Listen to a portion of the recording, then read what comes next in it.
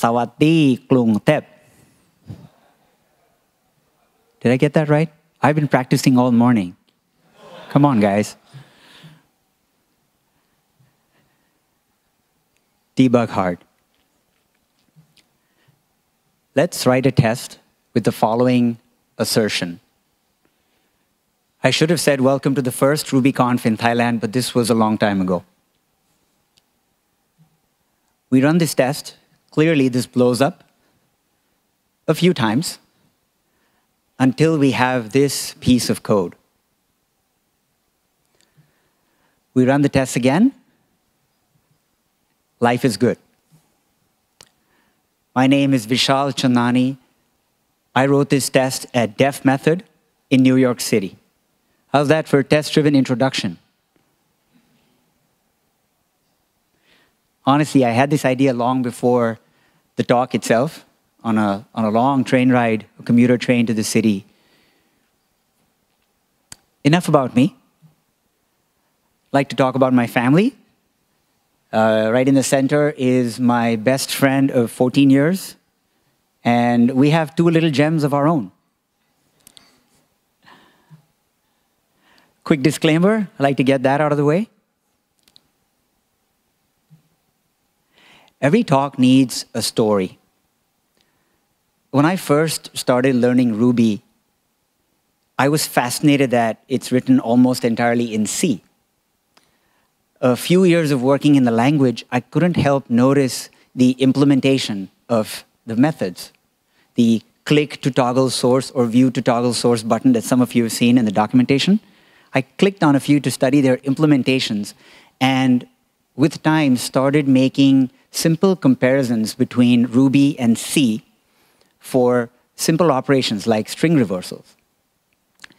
As I explored the topic some more, I learned that certain strings, in particularly Unicode, don't play well with certain string methods, like the reverse method.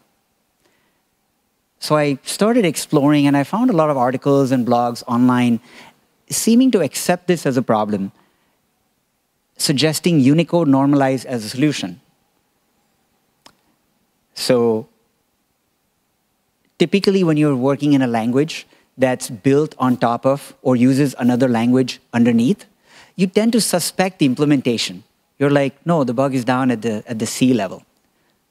That being said, I put on my debugger hat, expecting to find my first Ruby bug.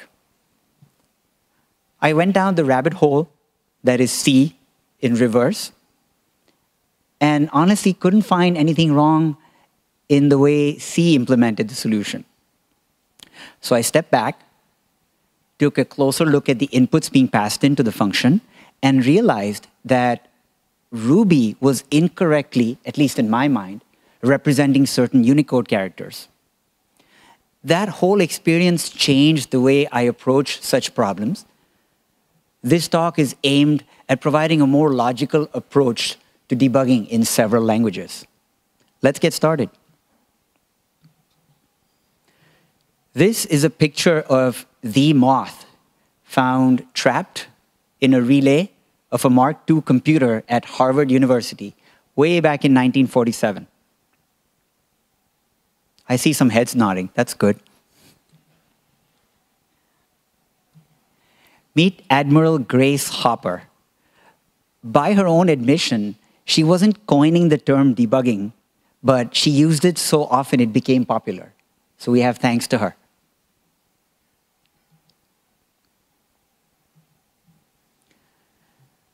We're going to explore the Ruby's string library, in particular its reverse method. Coming to my first programming language ever, C was developed in the early 70s at Bell Labs, which coincidentally is also where I started my career. And by the early 70s, it was intended to write utilities to run in Unix. By the late 70s, it had become so popular that it was used to rewrite the kernel of the Unix operating system. Imagine a language so powerful, not only does it write other languages, but also operating systems. How cool is that? I needed an environment to be able to build Ruby from source. In order to debug programs, you have to modify them. Clearly, I wasn't going to use this pristine Mac and clutter it with different versions of Ruby had the compilation failed. I chose VirtualBox. It was uh, free at the time and, well, worked right out of the box. I chose Ruby 251 for this exercise, which is available here.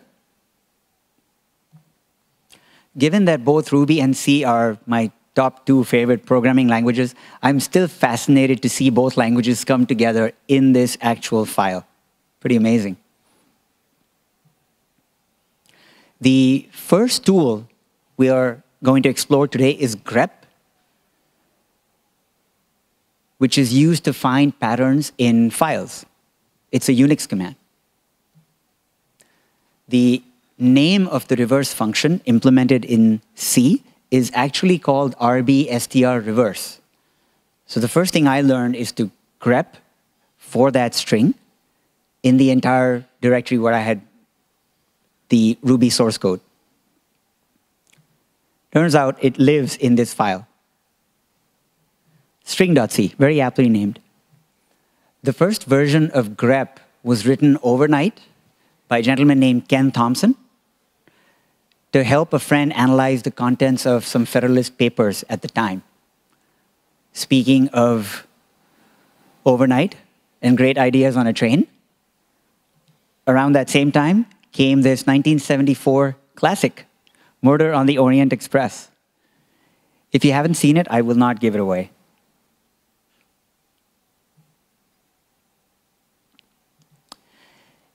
Given my belief in test driven development, I went looking for tests and found a few tests in this file. We see that they attempted to reverse a few strings like beta, there's a palindrome in there, and that's fine, but nothing more complex, nothing, nothing for Unicode, so I didn't really find much. At a high level, the rbstr reverse function uses pointers to basically swap out and reverse a string by copying characters from the beginning and the end and switching them out. In doing so, it needs to calculate the length of each character that it's intended to copy. The Ruby 251 build Ruby from source link basically says you have to do three things. Configure, make, install. All you have to do, right? I wrestled all weekend to get a basic version of Ruby built from source in, in VirtualBox. And perhaps it's because of the environment I had, but I took notes and I have the commands for, for later if people are interested.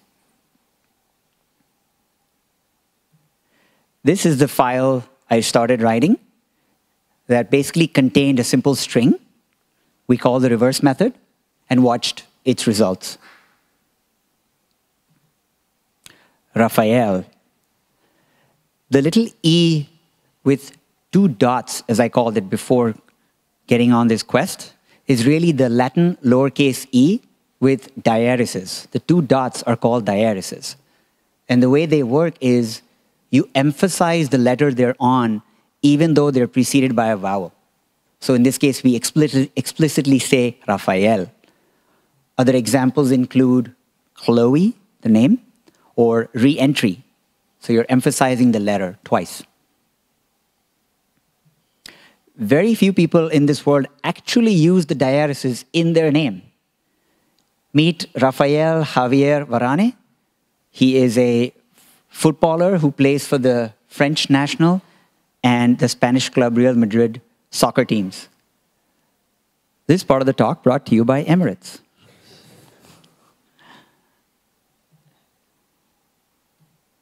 So we reverse Raphael. What's wrong with this picture? Right, the diaeresis is on the wrong letter.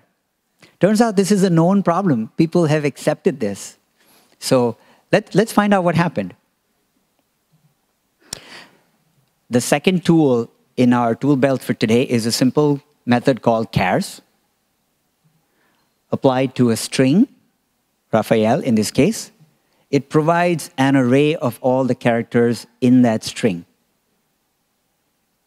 Please note, I'm saying characters, not bytes. The little e with diaeresis is one example.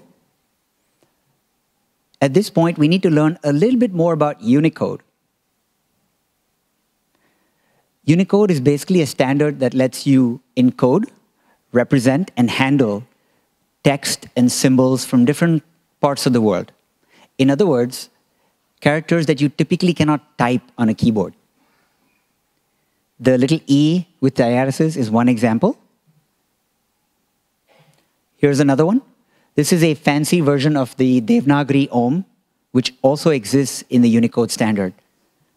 Fun fact, I have the Sans Sanskrit version tattooed on my left arm. Wrong shirt for today.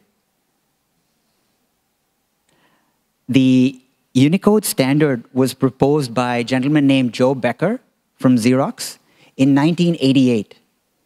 He proposed Unicode as a unique, unified, universal encoding scheme. Around that same time, came one of my favorite movies of all time and the inspiration for the title of this talk. Code points. Code points basically provide a numerical representation of characters. Passed to a string, we use code points and use a simple iterator to print the value of the character as well as its hex value. So we see here that the E with diaeresis was split into two characters, the little e followed by the diaeresis. The little e shows up as hex 65, which sounds about right. The combining diaeresis has a UTF representation of hex 308. This one is actually more my favorite because it gets us closer to the byte level. Previously, we were talking characters. And if it's one takeaway you can get from this talk is a character is not necessarily a byte. Applying the same method, iterating over each character, we see that the E stays as hex 65, that's one byte. The combining diaeresis has a two byte representation of hex CC and hex 88. Looking closer at the UTF representation online, Turns out this is the UTF-16 version. It's not even UTF-8. So it's confusing on many levels. Before diving down into the, into the implementation, we need to understand a little bit more about this concept of pointers. As the name suggests, pointers are variables that point to other variables' memory locations. They come in different shapes and sizes a, a popular picture among many preschools back home. Here's a simple example. We have a string of 25 characters called hello world. The char star PTR notates a pointer of name PTR. The star basically says it's pointing to a variable of type character. We use the for construct to loop through that string and print the contents of each character. Simple use of pointers. Printf is a lot like putS. It stands for formatted print. It's a great way to get started and knowing where you are in your program. So you can basically pepper your code with printfs like you do with putS. Here's a simple example. I used it to determine the length of a character in bytes and know where I was in the execution. Using some very high level printfs and saying block one, block two, block three, block four, etc., I was able to zoom in on this piece of code. We see here that the code is calculating the length using RBENC fast MBC len, and then using memcopy to copy the characters and replace their values. using their length. The length is important. That's how it knows how many bytes to copy over. Printf has its origins in um, BCPL, had a function called writef, 1966. The Tepa Sadin Stadium, right here in Bangkok, was constructed around that same time, just in time for the 1966 Asian Games. Fun fact. So printf is great for a high-level view of where you are in the execution of your program. But given the complexity of this function, I found myself in a rabbit hole very quickly. So I needed something a little more powerful. This is where the GNU debugger, GDB, comes in.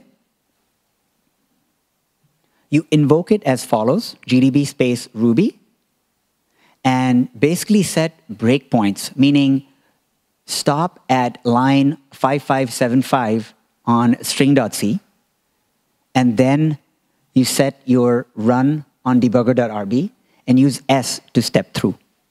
So you're basically debugging by setting breakpoints in the implementation. You do this a few times and you realize that you have to set multiple breakpoints. So I found the next one, which is reg enc.c, line 62. And it turns out that that's the file that contains the function used to calculate the length in bytes.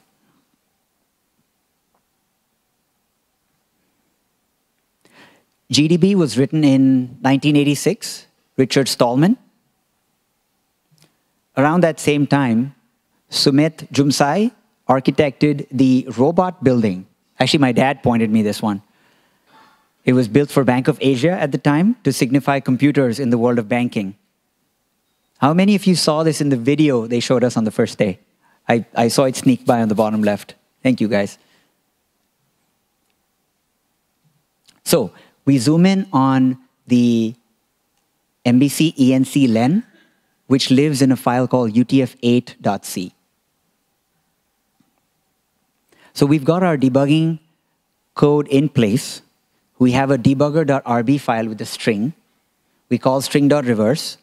And the debugger code, the debugger.rb file, is using the compiled version of C. So you're going to see all your debugging statements come out like this. Honestly, this is the most dense slide I have. I apologize. We see here that the lowercase e has a length of 1, which is correct. The combining diaeresis actually doesn't even print properly using printf, so it looks garbled, but it's the one that says clen2 towards the bottom of the slide. Here we realize that C is doing the right thing. We passed in E, it calculated length of 1. We passed in a combining diaeresis of length 2. It's doing the right thing. It's, there's no apparent bug in the C code, at least to me. So I decided to try this hack. And this is where the knowledge of pointers comes in handy. I believed the correct representation, according to the specs, for the E with diaeresis intact should be hex C3AB, two bytes. So I decided to look for the lowercase e and override it. Use a pointer to point to S, set its contents to hex C3, that's what the star VPTR does. Increment the pointer, stuff another hex AB in there, put the lowercase l back in for good luck, and not to forget the backslash zero to terminate the string, so to prevent it going out of bounds. I call this the hack. I also put a printf with hack in there to show you what it did. And we see that it actually reported the CLEN as two bytes, which seems more correct to me. We run our reverse program, and this is what we get. A correctly reversed string with the diaeresis, or two dots, whatever you want, in the right place. Ruby versus C. This is the dilemma I faced at this point in the investigation. Remember this famous arm wrestle scene? Name that movie. Any movie fans out there? Or am I the only one? Yes. No. You guys want a hint? The guy on the right is Arnold Schwarzenegger. Come on, you can do it, Charlie. Yes. Awesome. That's right. But let's talk after. Thank you.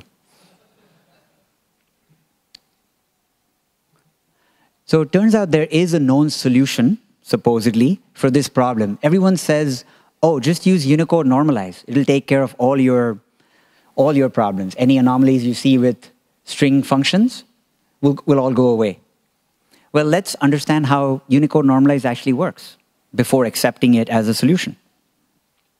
So turns out that Unicode has this concept of equivalence, where some sequence sequences essentially represent the same character. The little e with two dots, sorry, I still call them dots, the little e with diaeresis can be represented in two different ways.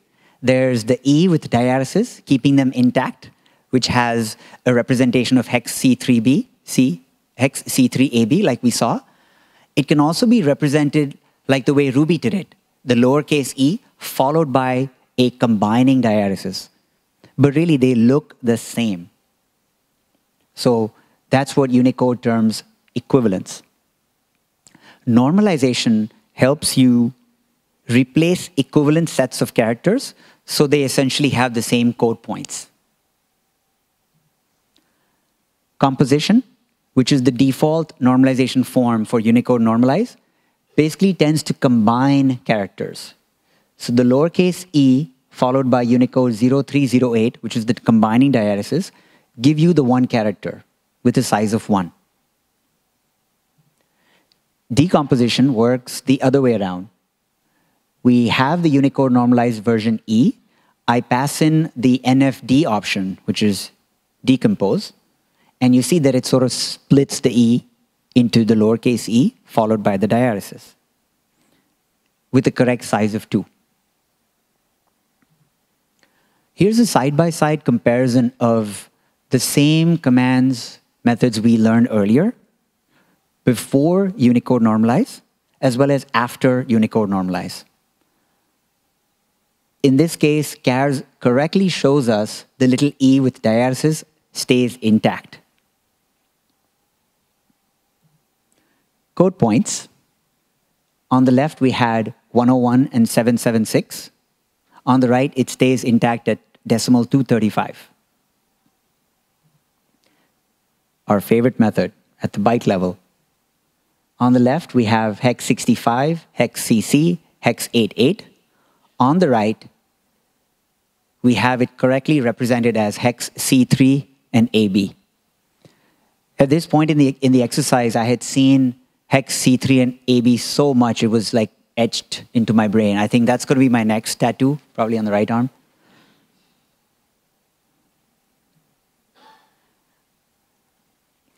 So let's see how Unicode normalize works. We've come to accept universally that it's a solution. How does it really work under the hood? We know that the default normalization form is NFC, so I was able to zoom in on just that specific block of code where it does a gsub with two arguments the first of which is a regex object, and the second of which is a hash. I tried printing the values of the hash, but it's an eyesore, so think it's an exercise left for the readers. Homework. I use two variables, M1 and M2, and, and this is where the, the C developer in me tends to use shorter variable names. You know, the, uh, they tend to use variables like i, j, k, and so on. So that's the M1 and M2. On the left, we have M1 to signify the match based on the regex. And given that we passed in Unicode normalize, it looked up and found a match of the E with diaeresis. We see chars, code points, each byte. We've seen that before, right? So far, so good. On the right, M2 is basically looking up that hash for a key M1, and it actually gets the same value, similar looking, exactly looking, same looking value, but this is the correct E with diaeresis that we want. Chars, code points in each byte correctly now represent this value the way we expect. So that's really how it's working under the hood. It's basically looking for certain characters and just replacing them, overwriting them. So we started with a string called Raphael with diaeresis. With some debugging tools, we ended up with a correct, correctly reversed string. Along the way, we learned some very basic yet powerful debugging tools in Unix, C, and Ruby. And another important takeaway here is to not make any assumptions. When I set out on this quest, I assumed the bug is going to be in C incorrectly. So it's important to not, not make assumptions and use the tools to the best of your abilities. Hopefully, this talk inspires you to debug hard. You've been a fantastic audience. Namaste.